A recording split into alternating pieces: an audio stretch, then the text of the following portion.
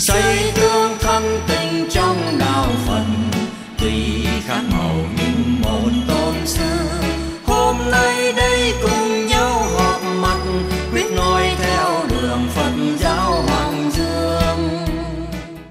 Nam mô Bổn sư Thích Ca Mâu Ni Phật. Đây là chương trình Sống đời sống Phật.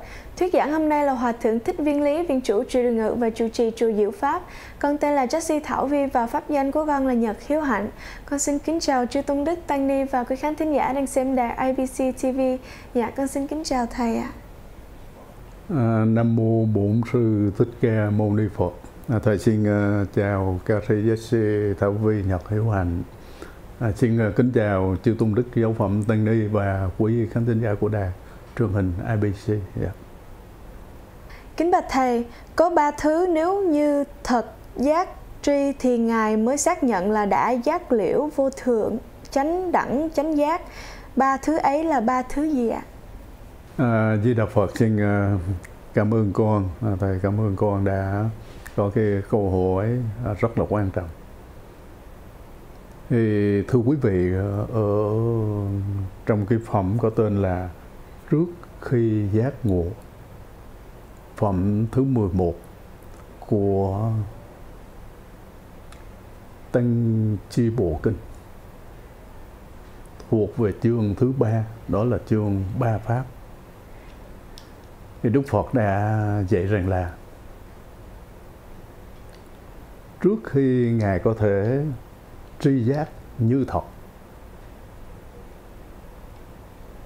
Về vị ngọt, chính là vị ngọt ở đời. Nguy hại chính là nguy hại và xuất ly chính là xuất ly. Như thật, tri giác.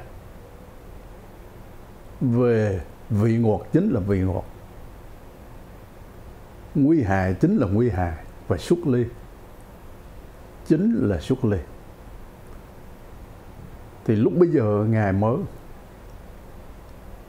xác quyết rằng ngài đã liễu giác về vô thường chánh đẳng chánh giác. À, chúng ta thấy gì về cái lời khai thị của Đức Phật mà chúng tôi vừa lặp lại. Đó là phải có một cái sự liễu giác như thật. Phải có một cái sự như thật như giác tri tức là thấy và biết một cách chân xác nó như thế nào thì mình có cái sự hiểu biết như thế đó, như là chính nó đang là chứ không phải là qua cái trung gian của một cái sự võ đoán một cái sự tưởng tượng nào đâu và cái sự tri giác như thật ở đây. Đối với ba cái điều, thứ nhất là vị ngọt, thứ hai là sự nguy hại và thứ ba là sự xuất ly đó là ba pháp. Nói theo cái thuật ngữ là pháp. Nhưng mà mình có thể dùng những cái từ bình thường uh, tức là có ba điều hay là có ba việc hay là có ba cái sự kiện. Vân vân và vân vân uh, ờ, tùy theo cái uh, nhận thức hay là cái cách mà chúng ta diễn đạt mà chúng ta có thể sử dụng một số những cái từ ngữ khác nhau. Là vấn đề ở đây là làm thế nào để khi mà chúng ta trình bày lại những gì mà Đức Phật đã khai thị. Người nghe à, có thể hiểu và tránh tối đa cái sự hiểu lầm sự ngộ nhận bởi vì giáo pháp là con đường. Mà nếu mà hướng dẫn ờ, sai đường thì nó sẽ không giúp cho bản thân của người hướng dẫn mọi người được chỉ đường có được cái sự lợi ích à, tốt đẹp. À, cho nên ở đây cái cách diễn dịch qua những cái từ ngữ mà dựa trên những cái thuật ngữ Phật học, nó hoàn toàn à, tùy thuộc vào à, cái khả năng à, thuyết giảng của mỗi người nhưng mà dù khả năng như thế nào thì cũng phải làm sao để đánh cái việc mà đi quá xa đối với những gì mà Đức Phật đã khai thị. Còn nếu mà đi ngược lại thì điều đó tuyệt đối là không bao giờ để xảy ra. Mình, khi mà chúng ta trình bày một cái giáo lý nào đó à, chúng ta thấy có vẻ là đơn giản và dễ dàng nhưng mà trên thực tế thì thưa quý vị không phải là đơn giản và dễ dàng nói như thế nào để người nghe có thể hiểu được và nói như thế nào để người nghe hiểu và có thể ứng dụng vào đời sống thực tế? Chính vì vậy mà không phải là để mình khoe cái khả năng diễn thuyết của mình, cũng không phải là để minh thị cái à, sự hiểu biết à, như là một cái cách minh thị về cái tô cái đó rất là tối kỵ à, đối với những người đóng cái vai trò của một vị giảng sư.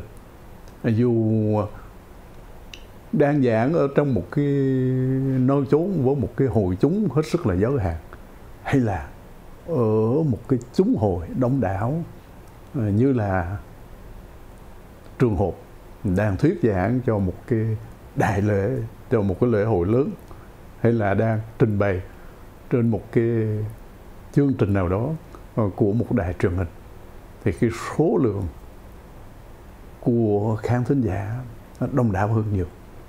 Cho nên ờ, ở cái điểm này thì nó đòi hỏi người trình bày phải hết sức thận trọng. Thì để trở lại, cái câu hỏi mà thưa quý vị, cháu giáo sư Thảo Vi Nhật Hiếu Hạnh vừa nêu thì Đức Phật đã dạy rằng là Ngài chỉ có thể tuyên bố rằng Ngài đã chứng thành quả vị vô thường chánh đẳng chánh giác, tức là thành Phật. Khi nào Ngài đã giác liễu như thật, vị ngọt ở đời là vị ngọt ở đời, nguy hại ở đời là nguy hại ở đời, và xuất ly là xuất ly tuy nhiên, có một cái dấu ngoặc đơn mà chúng tôi cần phải mở ra ở đây. Đó là, vì những lời dạy của Đức Phật được ghi lại ở trong chương thứ ba của kinh Trung Bộ. Mà chương thứ ba thì chỉ nói về ba pháp thôi. Chương thứ tư sẽ nói về bốn pháp, chương thứ năm sẽ nói về năm pháp chương thứ mười sẽ nói về mười pháp. Và nếu là chương thứ nhất thì chỉ nói về một pháp thôi. À, cho nên đây là ba pháp trong chương thứ ba. Chính vì vậy mà đức phật chỉ nói về ba pháp. À, chỉ nói về ba pháp. Nhưng mà dù chỉ có ba pháp thì đây là ba pháp hết sức căn bản hết sức là căn bản. Thứ nhất là vị ngọt. Thứ hai là sự nguy hại và thứ ba là sự xuất ly. À, thì xin cảm ơn con à, đã nêu cái câu hỏi rất là quan trọng vừa rồi. A di đà phật. Kính bạch thầy con xin cung thỉnh thầy hoan hỷ giảng về ba thứ mà đức phật đã khai thị ạ. A di đà phật thầy xin cảm ơn con về cái câu hỏi.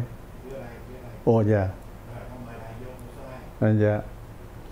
A di đà phật thầy xin cảm ơn con về cái câu hỏi vừa rồi.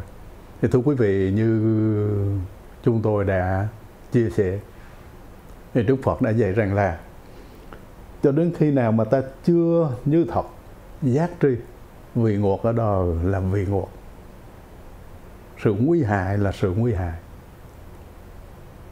Xuất ly là xuất ly. Thì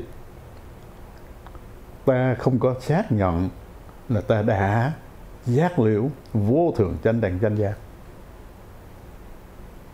Thì bây giờ chúng ta thử tìm hiểu thế nào là vị ngọt ở đâu mà Đức Phật đã nêu lên. Vị ngọt ở đây tức là những cái cám dỗ vật chất ngay cả những cái cám dỗ về tinh thần. Mà rất nhiều người trong chúng ta không cưỡng lại được và đã bị tê ngã. Ví dụ như về kia điều thứ nhất, đó là tài. Rất nhiều người trong chúng ta tham lam để có thể sở hữu những tài vật. Dù đó là những cái tài vật giá trị à, như là kim cương, chẳng hạn. Hay là những cái mảnh đất, những cái khu vườn, những cái ngôi nhà, hoặc giả là những chiếc xe, thậm chí những cái chiếc điện thoại, hoặc giả là ít giá trị hơn. Ờ, chỉ là một cái khăn một cái viết. Ờ, à, hoặc giả là những cái thứ như là quần áo giày dép ờ, vân vân và vân vân. À, chúng tôi thấy có một số những cái trường hợp mà mình xét kỹ mình thấy mình à, chỉ có biết ừ, cười thôi không thể à, nói năng gì. Như là cái trường hợp Ờ, một hôm nọ chúng tôi nhờ một người chở đi công việc. Đi ngang qua một cái ngôi nhà nọ. Và thấy trước cái ngôi nhà đó có bày bán những cái dụng cụ uh, mà đã um, sử dụng rồi. Ừ, bán gọi là à, gara sale. Họ nói ờ, xin phép thầy cho con dừng lại một chút. hỏi trên để thấy nó bày bán thấy cũng đẹp quá. Ờ, xuống mua mua ông bố. À, thì anh ta chúng tôi đồng ý. Bây giờ anh thích như vậy mình uh, đâu có thể uh, uh, ra lệnh nói là không anh không có được. À, anh dừng xuống anh xin 5 phút thôi nhưng mà anh đứng cả nửa giờ đồng hồ. Anh dồn chỗ này anh nhìn cái khác anh cầm lên anh đặt xuống mà cuối cùng thì anh cũng mua được ba thứ. Anh bỏ trong cái cốp xe của anh. Rồi một ngày nọ thời gian cũng không bao lâu à, chúng tôi nhờ anh giúp à, để đi à, chở một cái món đồ mà mình mua ờ, từ ở Home Depot. Anh đi ngang qua một cái ngôi nhà khác, thấy đang bán gà là xéo, anh cũng xin phép. Bà thầy con xin phép thầy. Chỉ ngừng lại một chút thôi. Chúng tôi biết một chút của anh ờ, chắc chắn là cũng phải nửa giờ đồng hồ. Nhưng mà bây giờ mình nhờ à, anh giúp cho mình cả hai ba tiếng đồng hồ mà anh chỉ xin một chút giờ mình lại hẹp hòi thì xem ra nó không phải chút nào cả. À, cho nên chúng tôi cũng đồng ý. À, thì cũng mất cả nửa tiếng nữa anh mua một số đồ. Anh chất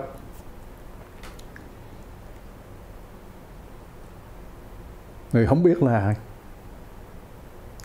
người đó đã mua bao nhiêu lần. Nhưng mà chúng tôi nghĩ là uh, trong cái gara của, của anh đó, chắc chắn là nhiều đồ đã dùng qua. Và khi mà anh mua về không hẳn là anh đã sử dụng đến. À, cho nên nó nó vừa chật cái không gian ở trong gara vừa tốn tiền rồi lâu lâu phải mất thì giờ để mà dọn dẹp cho nó ngăn nắp một chút. Và nhiều người thì họ cũng à, cho chúng tôi biết là mua đồ về rất là nhiều. À, nhưng mà có những cái món đồ nó không cần thiết.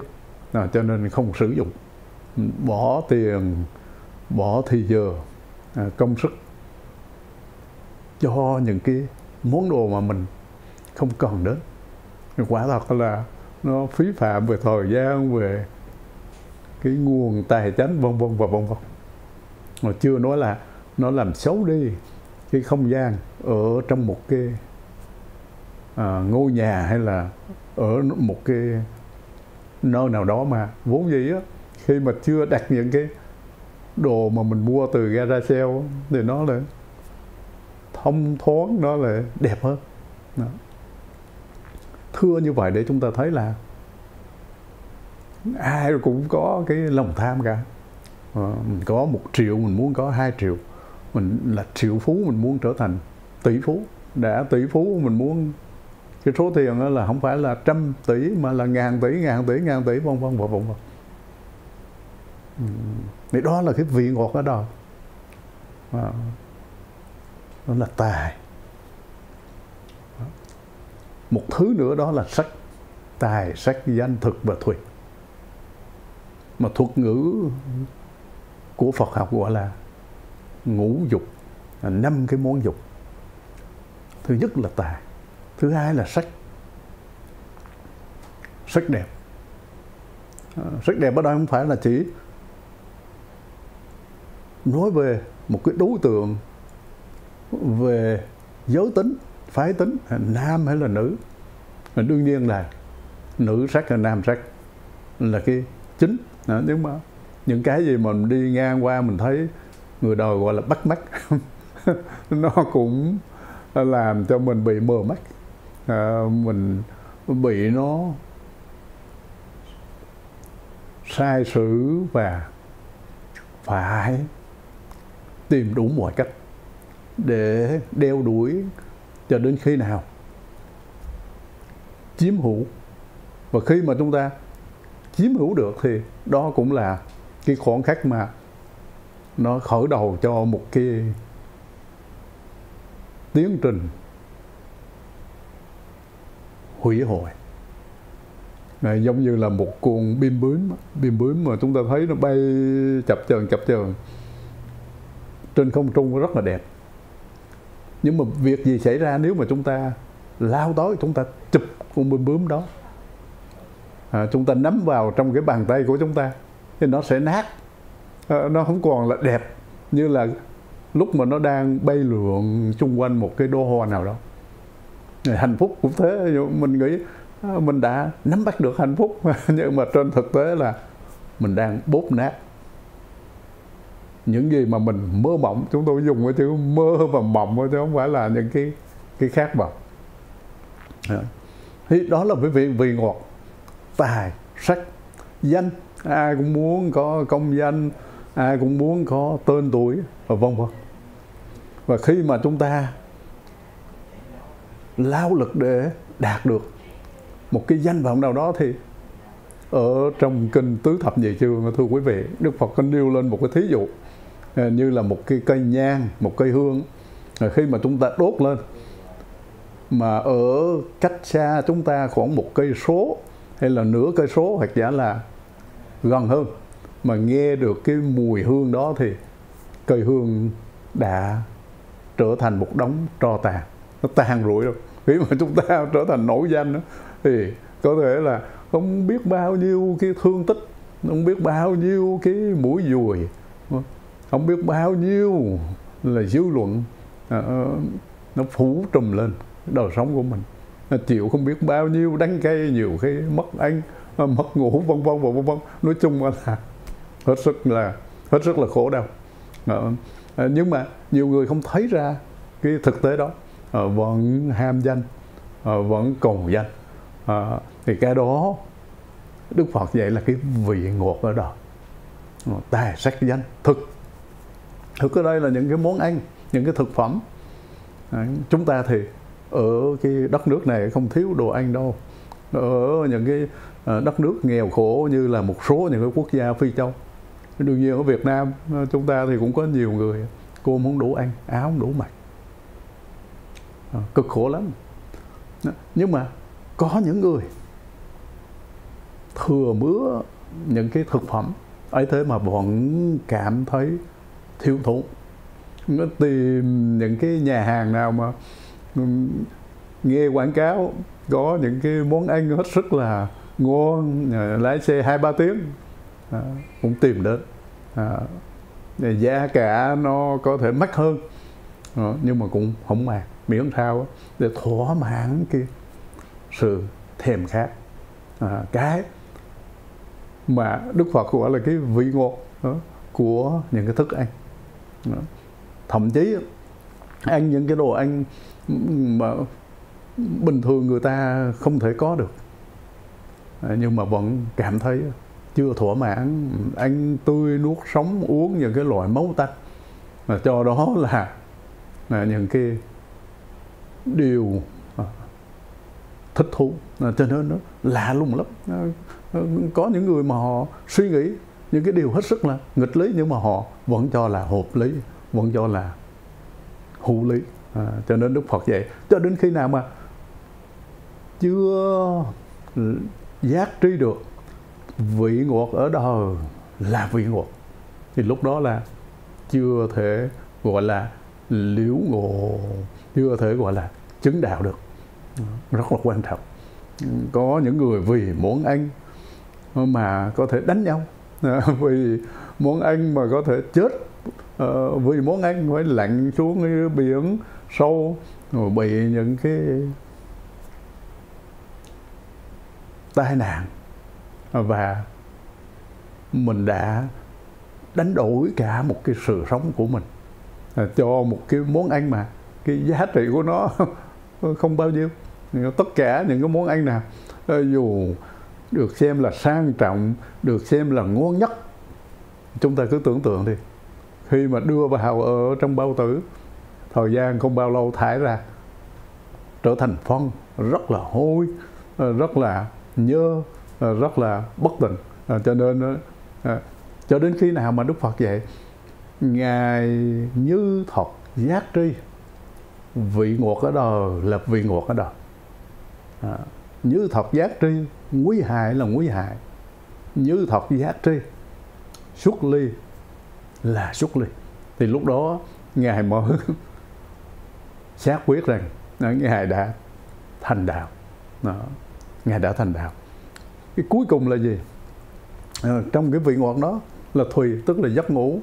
À, ai cũng ham ngủ ai cũng à, thích làm sao để mà có một cái chỗ à, sang trọng nếu ờ, không sang trọng đến nữa thì ít ra cũng à, phải à, tiện nghi phải như thế này thế kia. À, nhưng mà rất tiếc là thì giờ không cho phép chúng tôi đi xa hơn. À, thầy xin cảm ơn cô đã nêu à, những cái câu hỏi hết sức là ý nghĩa và xin kính chúc à, quý khán thính giả vô lượng an lạc phước huệ trang nghiêm bồ đề tâm à, tăng trưởng a di đà phật rất tiếc thời gian không cho phép thầy trò chúng con tiếp tục chia sẻ những gì cần chia sẻ. Mọi thắc mắc xin quý vị hoan hỷ gọi về chùa Điều Ngự hoặc chùa Diệu Pháp số phone hiện trên màn ảnh. Con xin chân thành cảm ơn sự theo dõi của quý vị. Kính chúc quý vị vô lượng an lạc phước huệ trang nghiêm.